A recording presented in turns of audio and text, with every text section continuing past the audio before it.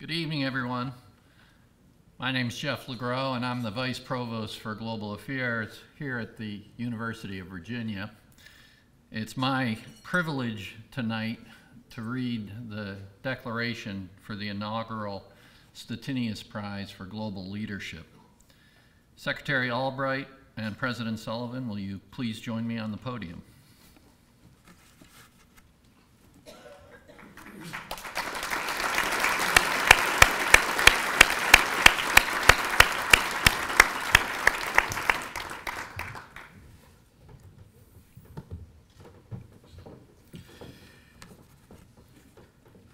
Madeleine Albright, your career has been an astonishing record of achievement in academia, government, business, and public service. You are a distinguished scholar of foreign affairs and revered professor at Georgetown University. Your remarkable effort as U.S. Ambassador to the United Nations was a force for individual liberty and justice at a critical time in human history. As the first woman to be appointed Secretary of State, you held the highest office of any woman in America, and you opened opportunities to women everywhere. Champion of NATO, hawk for human rights, and peacemaker in historic conflicts, you have advanced not only the nation's interest, but the well being of the world. You created and manage an industry leading global firm that operates in over 100 countries on six continents. Your dedication to the rule of law, freedom, and the common good is unwavering. For these reasons and many more, it is an honor to have you with us this evening to accept the inaugural Stettinius Prize for Global Leadership. President Sullivan.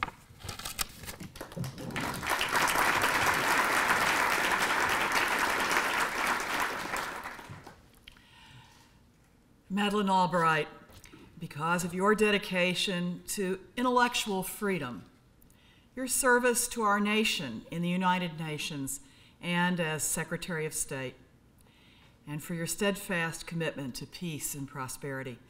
It is my distinct honor to present to you, on behalf of the University of Virginia, the Edward R. Stettinius Jr. Prize for Global Leadership.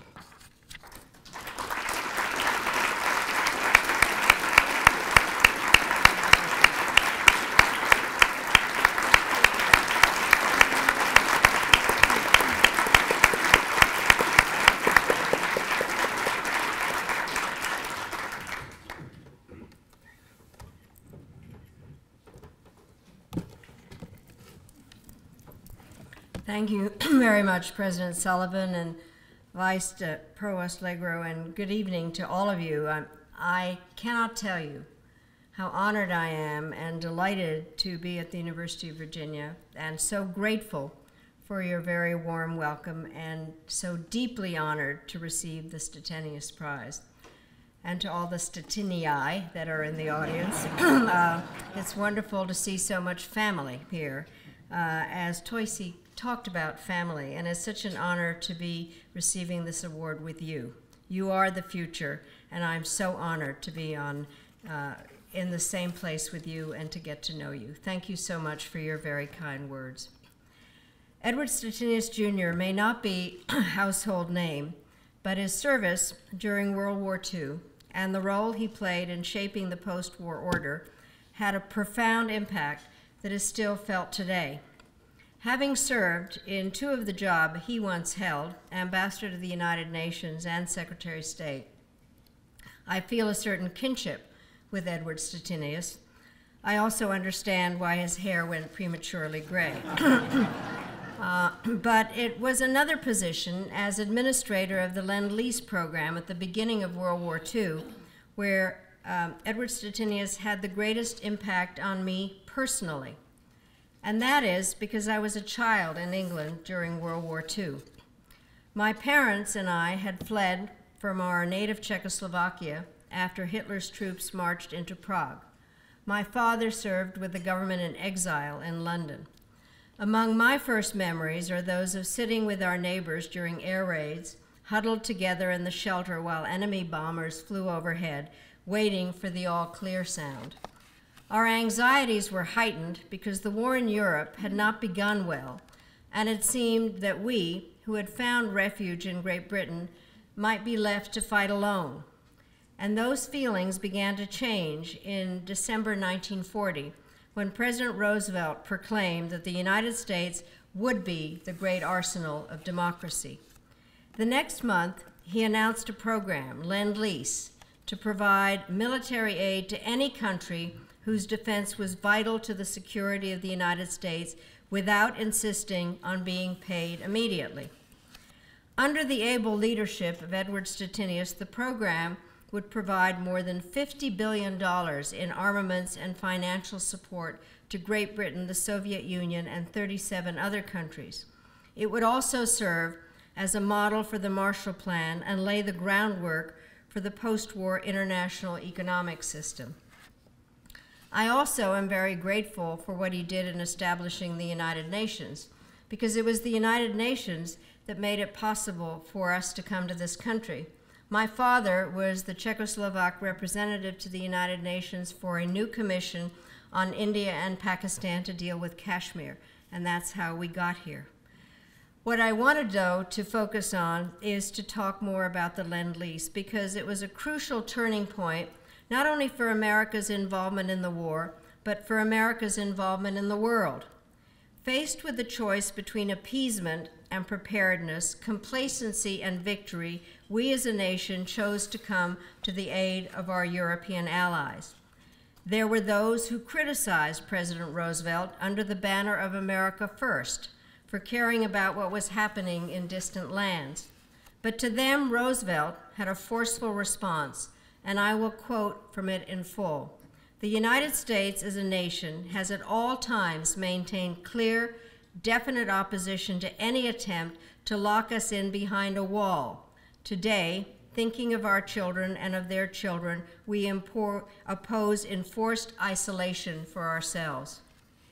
Needless to say, these are words that resonate in our time, an era of anxiety in which we are once again hearing the siren song of isolationism, even as our close allies in Europe, the Middle East, and elsewhere are under siege. It would be comforting to believe that we can wall ourselves off from the ailments of the world, or that if we simply talk tough, we will never be harmed. But these are illusions. We cannot build security by closing ourselves off for the survival of freedom depends on our strength and the strength of our friends and allies around the world. We're living in a time of endless struggle, driven, as in the Middle East, by ancient rivalries, mutual fears, the lack of economic opportunity, the quest for personal identity, and the passionate but mindless search for revenge. In this environment, our country will need to lead, much as we did during and after World War II by serving as democracy's arsenal. Now is not the time to abandon our friends or undermine our international obligations. If I can convey one message in receiving this truly important prize, it is that we cannot take the world Edward Stettinius helped to build for granted. The security of Europe, the continuation of the international order, and America's identity as the shining city on a hill are all being challenged. Each generation is tested and each must choose, and we are facing a very difficult test. But we should remember that we have been tested before and we have prevailed because even before the United States was a country, it was an idea. We are the inheritors of a tradition that dates back to the architects of human liberty.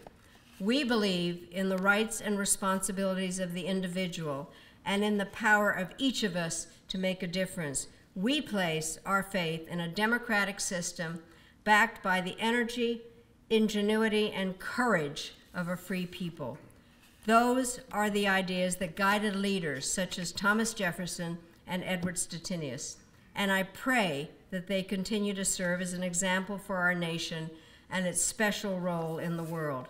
So I'm truly grateful to the University of Virginia for giving me this honor, but even more importantly, for reminding us what true American leadership is all about. Thank you all so very, very much for your kindness.